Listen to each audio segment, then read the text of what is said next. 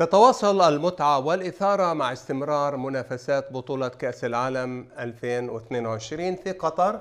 اطغت على مباراة اليوم الكثير من الندية والإثارة وذلك لحساب المجموعتين الخامسة والسادسة.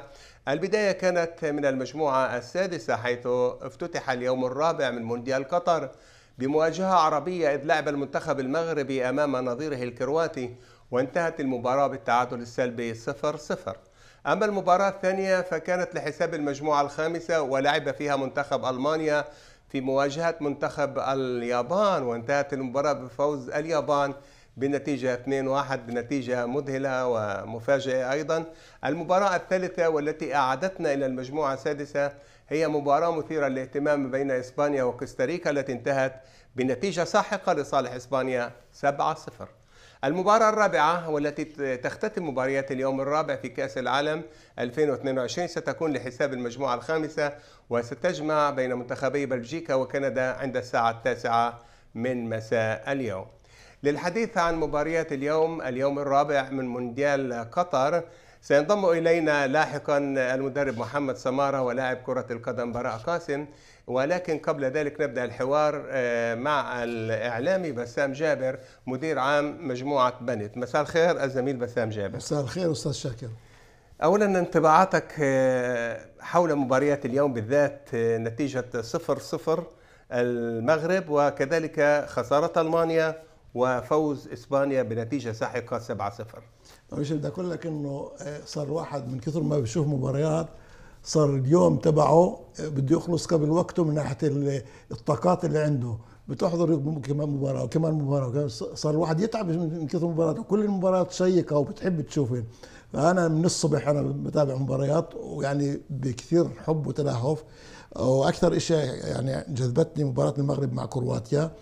والحقيقة الحقيقة إنه إيه، أنا شفت بنهاية المباراة شفت لاعبي المنتخب المغربي زي المبسوطين وهيك إنه طلعوا بتعادل. بس أنا شعرت إنه هم كان لا لعبوا ضد منتخب قوي جدا كرواتيا يعني. نائب بطل العالم. أكيد. ف فانا شفت إنه يعني المغرب لعبت لهالدرجة منيح اللي قدرت آه، تفوز بالمباراة ومش شيء كبير عليها كان. على فكرة صار. يعني اللاعبين العرب صاروا مليين الفرق الأوروبية وغير الأوروبية ويعني موجودين بكل محل تقريبا.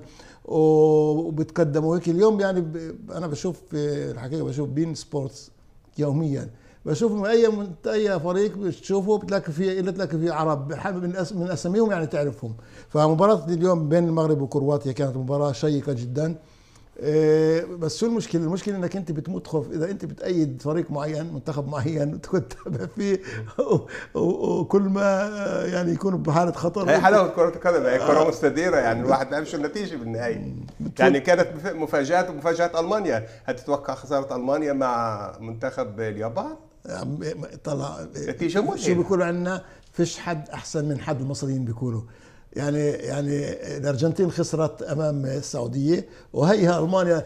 إحنا مين يعني إحنا بنحكي عن منتخبات اللي كانت مرشحة للفوز بكأس العالم الأرجنتين وألمانيا في الوقت الحاضر. فلا ما توقعتش. ويعني نتيجة غريبة. وشو يعني الأشياء يعني بتصير النتائج وكان الشيء عادي.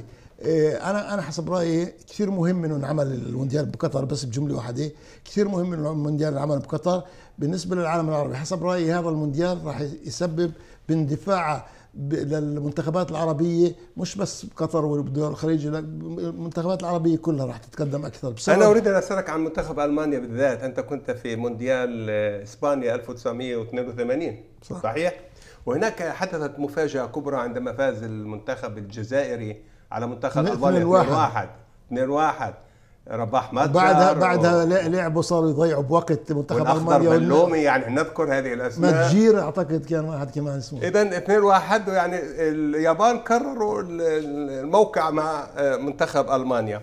اذا سؤالنا لا بس هناك كان نوع من اللؤم معين خصوصا إنه بعد بعد آه أنت تتحدث عن نتيجة معينة. آه لأنه بعد بعد بعد ما بعد ما سجلت هاي النتيجة صارت مباراة بين بين ألمانيا وبين النمسا أعتقد وصار يضيعوا وقت وهيك وبعدها غيروا كيفوا حالهم للنتيجة؟ آه وبعدها الفيفا غيرت قوانين كرة القدم ممنوع من يومتها بدت ممنوع إنه واحد يرجع الطابه طيب سؤال أخير رد أنا أسألك عن مباراة بلجيكا وكندا الليلة يعني كيف توقعاتك؟ ترى يعني على الورق بتقدر يعني بلجيكا لازم تفوز وهيك. ولكن حسب تصريحات الكنديين بيقولوا إنه إحنا راح نفاجئ إحنا راح نكون مفاجاه كل الموسم كل المونديال وبيقولوا إحنا راح نغلب وكل راح راح نكون مكان متقدم جدا في النهائي نهائيات كأس العالم.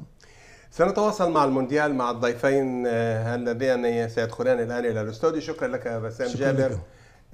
مدير عام مؤسسة بنورم شكرا. شكرا.